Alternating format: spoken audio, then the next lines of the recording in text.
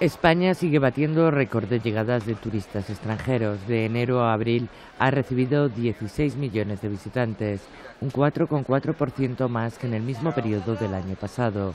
Solo en abril llegaron 5.400.000 turistas, una cifra histórica, fruto del excelente comportamiento del mercado francés, belga y de los lejanos asiáticos de América Latina.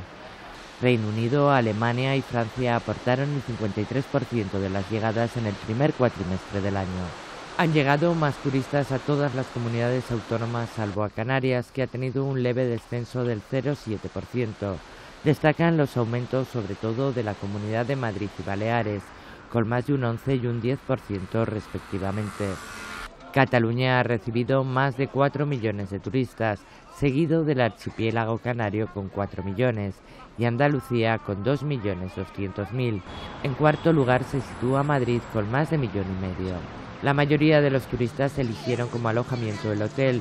En abril las pernotaciones hoteleras superaron los 23 millones, un 3,6% más que en el mismo mes de 2014, impulsadas tanto por el turismo nacional como por el extranjero.